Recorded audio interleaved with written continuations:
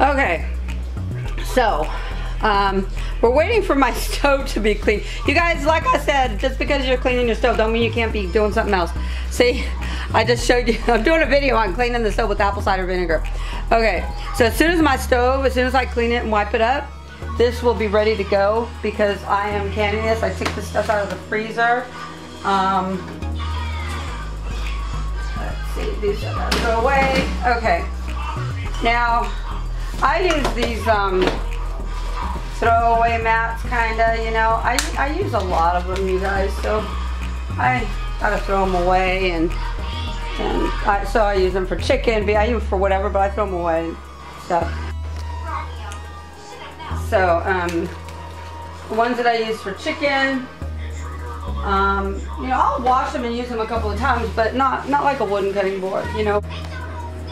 These um, plastic ones um, are like, um, I use them for chicken, beef, whatever, but I know which ones I use for what. I'll wash them once or twice and then I can throw them out. You get them at the dollar store. Um, actually, not the colored one. The clear ones you get at the dollar store, which the clear ones are a lot better than these. These I got at Kohl's. I don't like them. I just don't. Um, so I would suggest you getting them at the, um, um, what you call it, dollar store. You get two clear ones for a dollar. All right. So what I'm gonna do now, see all the fat on there? See that? You're gonna get rid of that? No, don't get rid of that. That's good stuff. It's gonna help you make your gravies and, you know, even just for the flavor alone. Don't get rid of it. Okay. Hold on, I need my funnel. Okay. Set that there. I know y'all are saying, we can't see what she's doing. Hold on.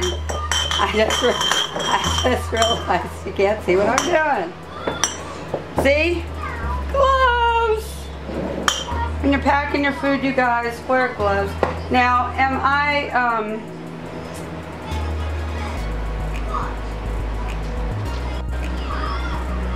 Okay, so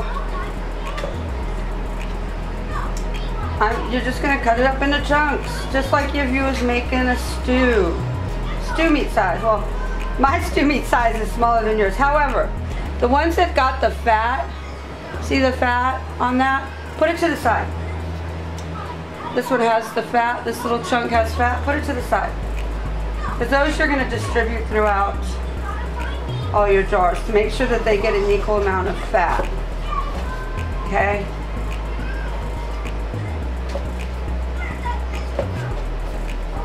See that? See that? Has fat on it. Okay, we're gonna put it to the side.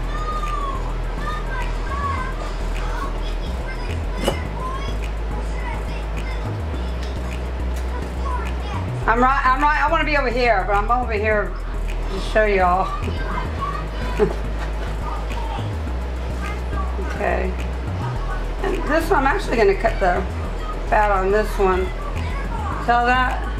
All fat, right? We're not going to get rid of it though.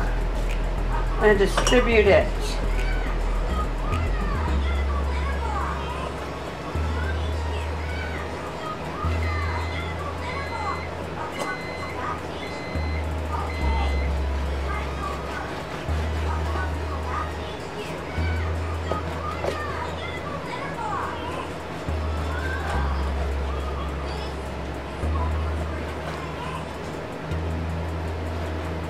So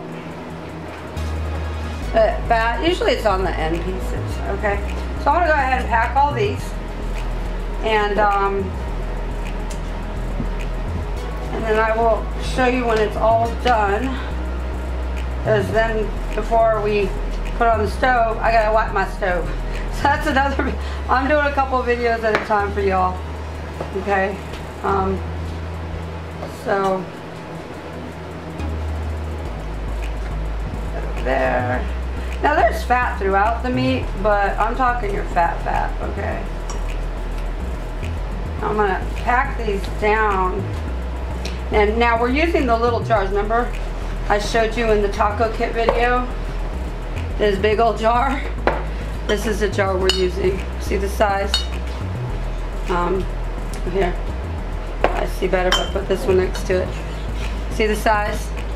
We won't eat this much meat anymore because Charlie's not with us anymore, but this one is even still too much meat. This one I could probably make taquitos for three day, three, four meals for all of us. Okay, so you're talking about 20 taquitos. The boys will eat eight each. I'll eat two. So that's like 18. So if I make 20, that's perfect. So I could probably make enough taquitos for like 20, you know, 20 a meal for three meals. Um, or do beef and gravy, whatever. You know, just whatever you want to do with it. You can use it for sandwiches. You know, you can put this, you know, it's already, when you take it out of here, it's going to shred apart like nobody's business. So why don't you just make, um, you make sandwiches with it, you know? Um, just put a little bit of barbecue sauce, mix it up, heat it up. If you don't got no way to heat it up, it's still going to taste good. Just put barbecue sauce on it. Now, I'm to put salt in these, so I'll show you that after. So I want to go ahead and do this, and then I will get back to you, because you don't want to watch. It's to take me a while. not that long, though. I'm pretty fast, but I'm not fast while I'm talking. okay, see you in a few. Okay, so I just want to show you real quick. So I actually took some out of these because it, it takes up all that room. So the one roast, which was about a same as this one. 2.18 pounds. So 2 pounds, 18 ounces. Well, gave me three jars. I still got to pack it down and then um, I'm not going to put water in it or anything. But I'll show you when I'm all done with everything. Okay, and we are back. So, I had, you guys, each one of these, I had four of them. Um, I'm gonna see how much weight because I think it was about um, okay nine pounds. Um, there's just under uh, you know how meat is sold by like 2.52 pounds or 8 point okay so it came out to um, so it, was, it came out to 10 pounds just over 10 pounds just like briefly over 10 pounds so what I did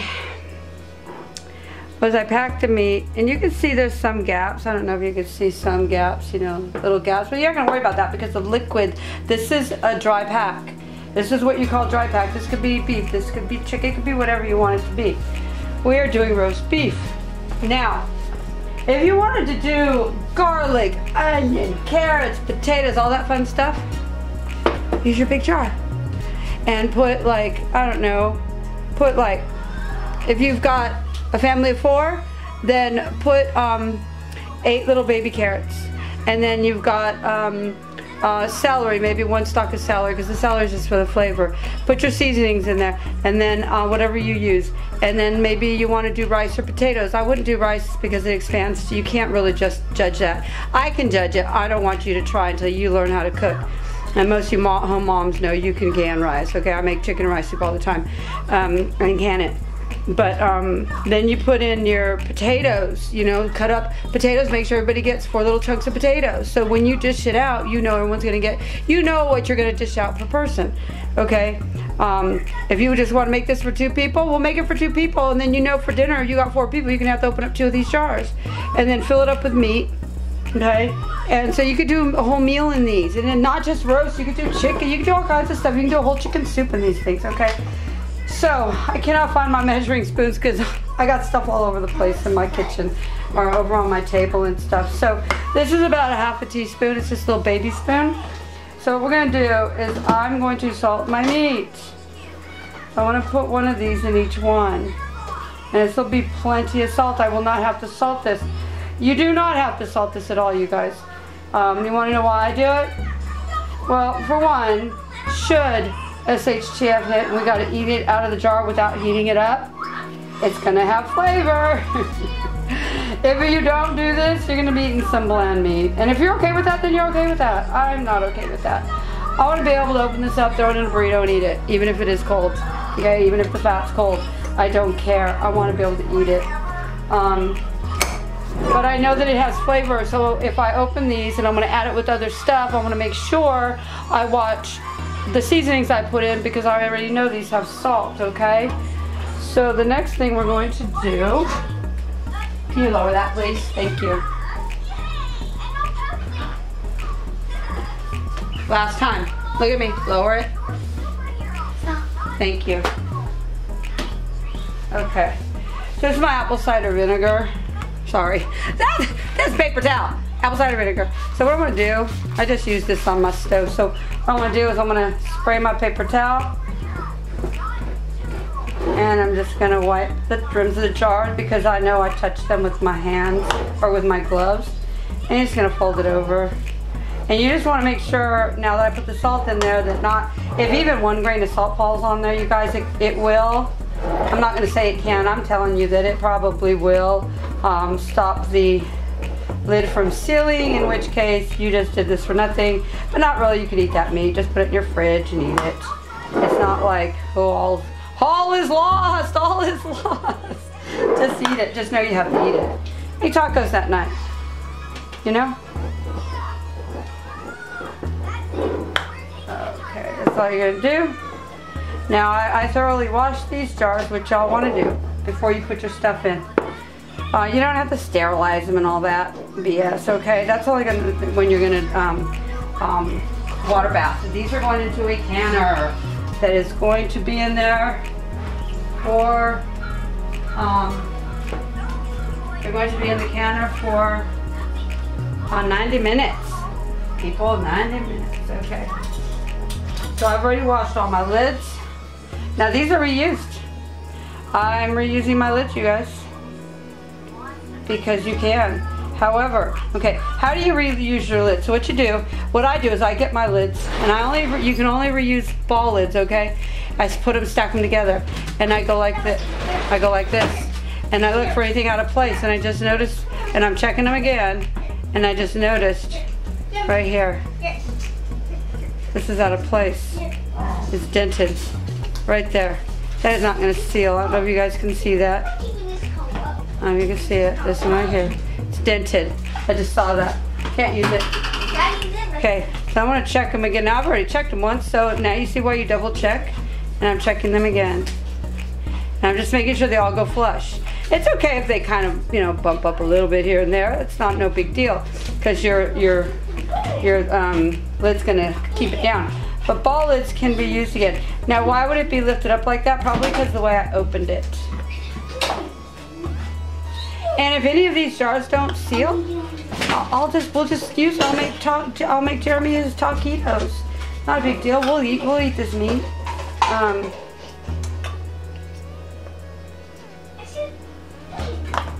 uh, oh, I had one too many anyway. Look at that. Okay. Hey, leave him alone. Messing with the dog.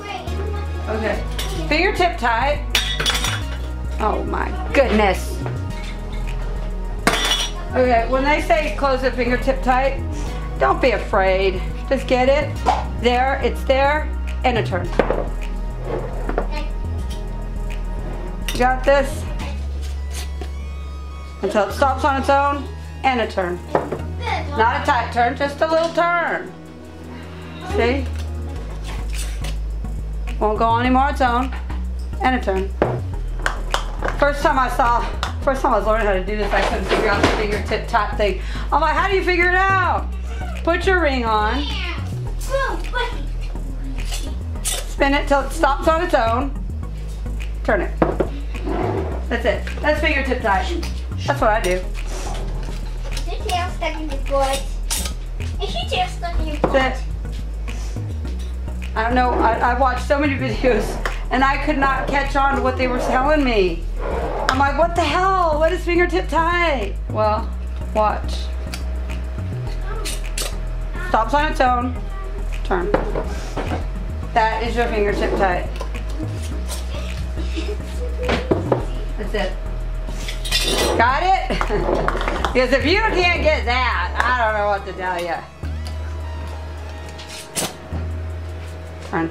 That's it. Not tight turn, just turn it. Okay, Stop this video, start my other video, go back to clean my stove, and that shouldn't take me more than about 15, 10 minutes, and then these are going into the canner to get pressure can for 90 minutes. All right, see you soon. Okay, we're at the canning stage. All right. Cold pack. Cold pack.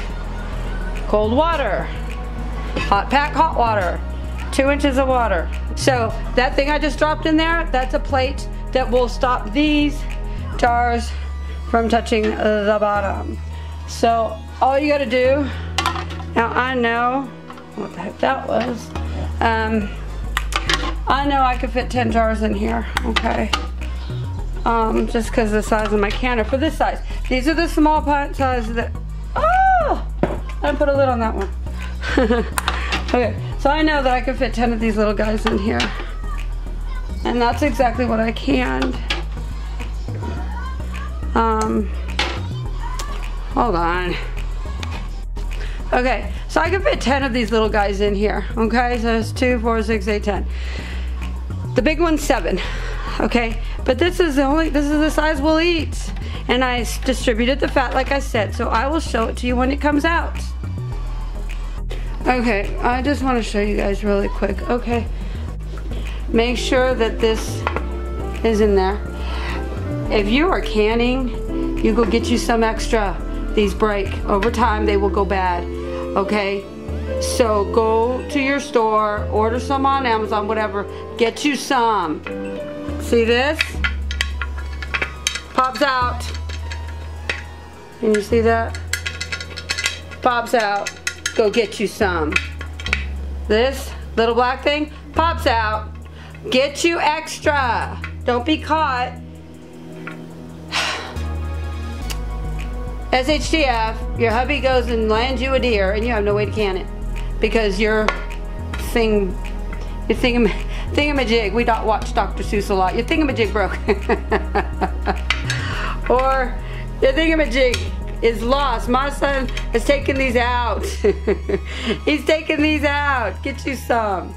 Okay, so if you're new canning, if you look, there's an arrow right here.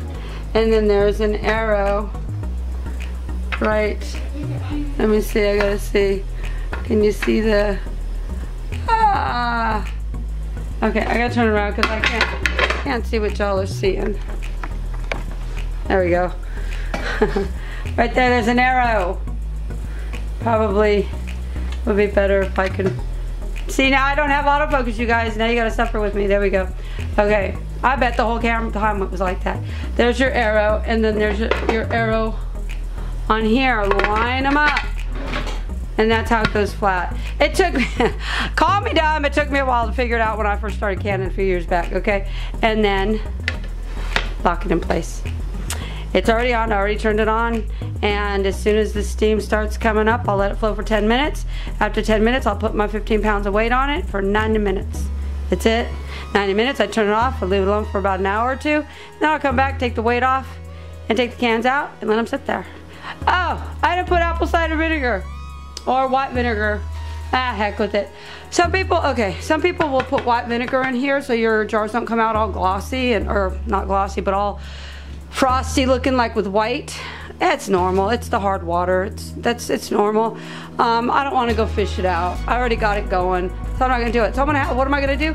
when it cools down tomorrow, I'm gonna wash my jars. That's all. I'm just gonna put them in some, you know, lukewarm water and wash them off. That's all. But if you want to avoid that, put some white white vinegar in here, you guys. Okay, bye.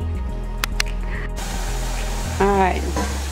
Jeremy's our cameraman again today. He turned it on and pushed the button.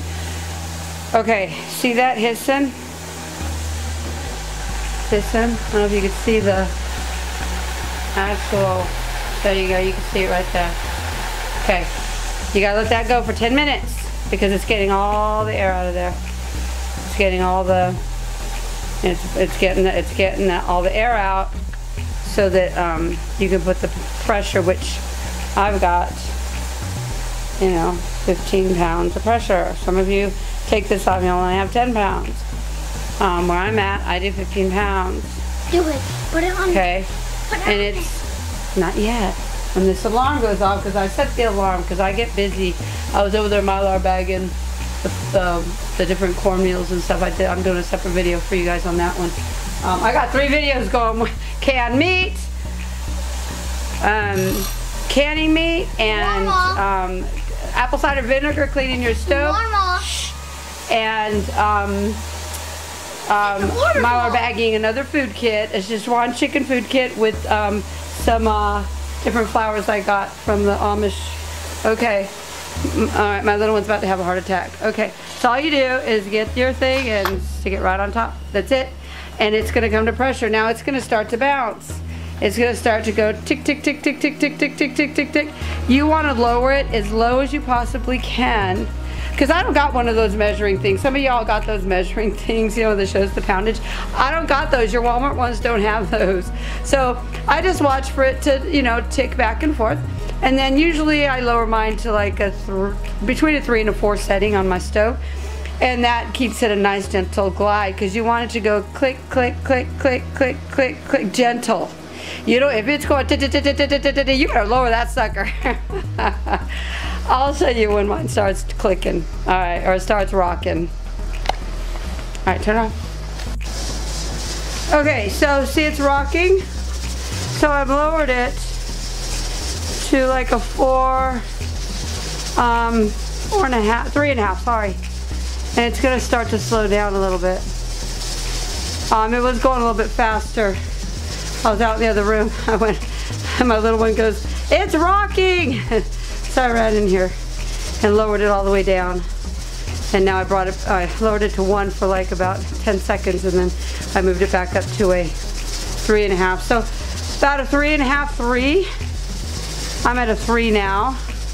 Is that's about how you want it to rock. If you can get a little bit slower, great. Otherwise, as long as it's rocking like that. Now if it's going da da da you want, I forget how many times per minute, but I'm not gonna sit here and judge per minute. I'm just gonna watch it. It's just gonna rock a gentle, gentle rock. And the bigger the jars, uh, you could go up to a four on my stove and it'd be a nice little easy rock. But with the little jars, I notice I have to go lower. So we're gonna keep that on a three. And then I'll show you when they're done. Okay, this has been off for a good hour. You see how this is flat? Ow, hot. See how this is flat? Nothing's coming out of here. This isn't moving. Most important thing, that's not moving and it's flat, okay? Now, we can take the jars out of the canner. This is hot, you guys. Okay? I always put my weight up where no little seven-year-old can get it. okay. And when you open this,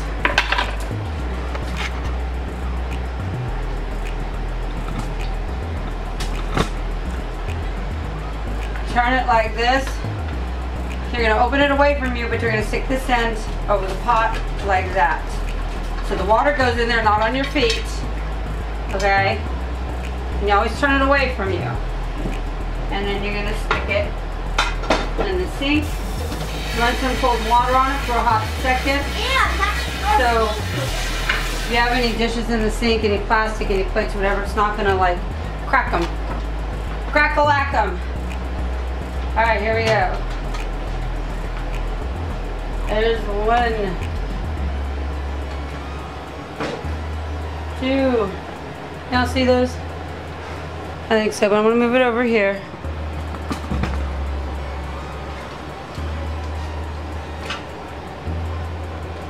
Now these are going to be absolutely amazing with taquitos or beef and rice or beef and noodles or sandwiches or hoagie dog, whatever you want to make with this.